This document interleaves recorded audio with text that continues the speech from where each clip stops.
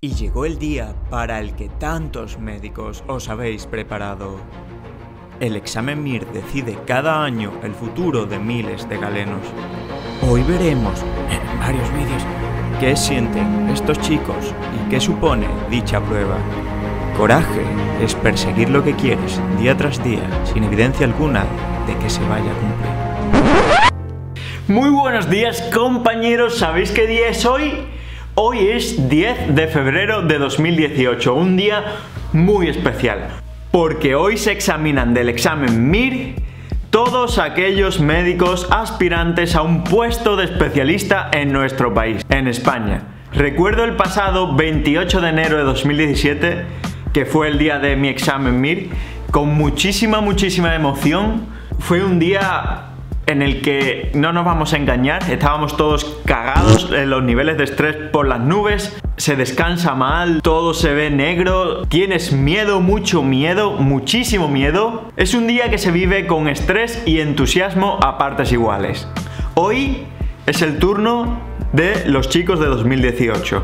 Hoy van a realizar la prueba que va a determinar su futuro profesional su carrera profesional, dónde van a estar los próximos años y probablemente dónde trabajen finalmente. ¿Qué especialidad van a hacer? Las condiciones de trabajo que tendrán y muchas otras cosas. Si se tienen que separar de su familia, si se tienen que separar de sus amigos, de su pareja. Es un día en el que realizarán el que posiblemente sea el examen más determinante que hayan hecho nunca. Hoy es el día donde se pone sobre la mesa todos esos meses de estudio. Estos chicos se preparan 16 meses, 16 meses estudiando 10 horas, 12 horas a diario. A diario. Es muchísimo tiempo, es mucho sacrificio. Han dejado de lado sus hobbies, han dejado de lado un montón de cosas por conseguir esto y hoy se la juegan, se la juegan en 5 horas, 5 horas de su tiempo contestando 235 preguntas.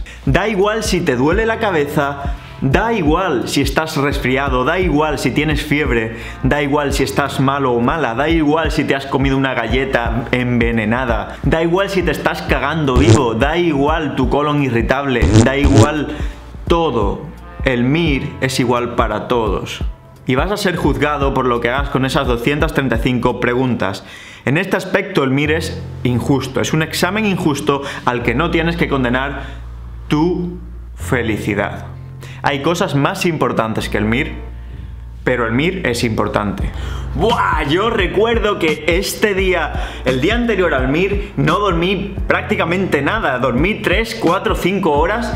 Me fue muy difícil quedarme dormido y eso que estaba reventado, pero mi cabeza estaba corriendo, no paraba de dar vueltas. Me levanté también temprano, no tenía hambre, no quería desayunar, no quería almorzar, no quería que me hablasen, eh, estaba irritable, estaba concentrado, continuamente intentando hacer ejercicios de respiración, concentrándome en mi respiración para que no se me metiera ninguna canción en la cabeza intentando evitar conversaciones que me pudieran desconcentrar, estaba neurótico perdido, neurótico perdido. Ya os digo, nos jugamos mucho en este día, por lo tanto es normal este tipo de comportamiento, no nos volvemos locos, después volvemos a la normalidad, tardamos unos meses en volver a la normalidad, pero volvemos a ser personas más o menos normales. ¿Habría prueba más justa que el examen MIR? Pues no lo sé. Es muy difícil cribar a 15.000 aspirantes 15.000 aspirantes y cribarlos según un orden para concederle una plaza u otra. Es muy complejo.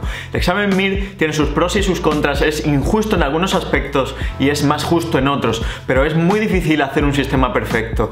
Es injusto porque te lo juegas todo en esas 5 horas, pero es justo porque todo el mundo tiene las mismas preguntas, no hay favoritismos, no hay diferencias entre lo que hace Pepe, Manolo y Juanita. Todos hacen lo mismo y todos son expuestos al mismo reto.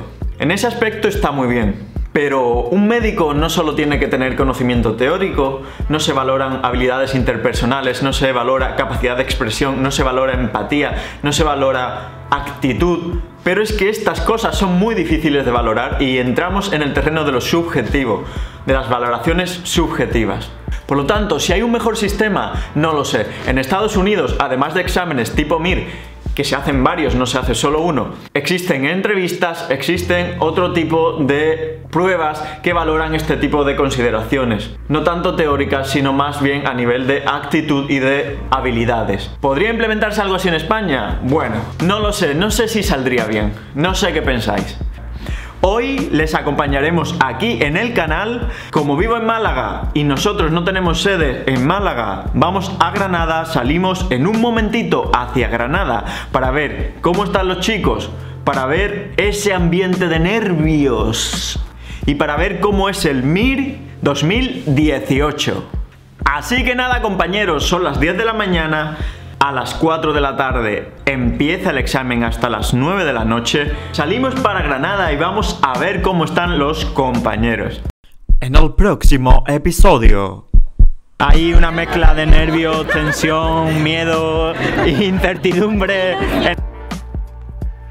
Pues decidí elegir medicina de familia y hacerla en Málaga, que es mi ciudad. Y estoy súper feliz. Miguel, ¿qué le diría a los compañeros que están ahora mismo haciendo el examen MIR? Hombre, yo sé que ellos después del examen habrán tomado 235 decisiones muy importantes en su vida, ¿no? Pero que si tuvieran que elegir entre un gin tonic fresquito, con un limón ahí bien puesto, una ginebra buena, buena, buena, de estas caras, de estas caras que son buenas con colores azulados, rosadas y tal, una tónica de puta madre, su pepino, su cardamomo, su todo, o un coño, yo me comería el coño. De cara a la elección de plaza, ¿qué consejo les daría? ¿Que prime la familia, que prime las relaciones, que prime la... Las relaciones no las. Vale. Porque